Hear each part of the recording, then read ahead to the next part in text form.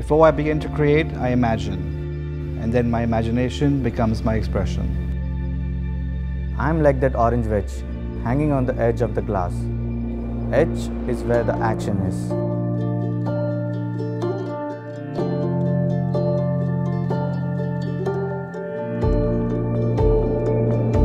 For me, a drink is more than a mixture of liquids. It's actually a story of blends. There's always something sensory about that first swig. Right now we are busy destroying. Destroying all the obvious ideas. What we create, we want it to be an original.